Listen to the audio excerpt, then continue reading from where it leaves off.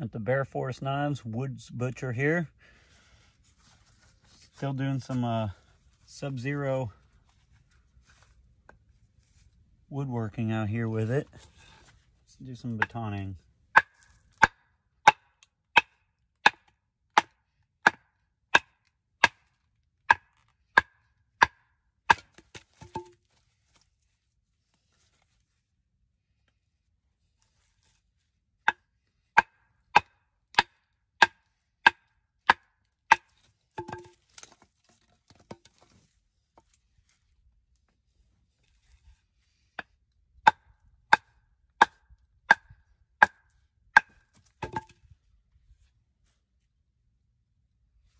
Bear Forest Knives Woods Butcher getting it done.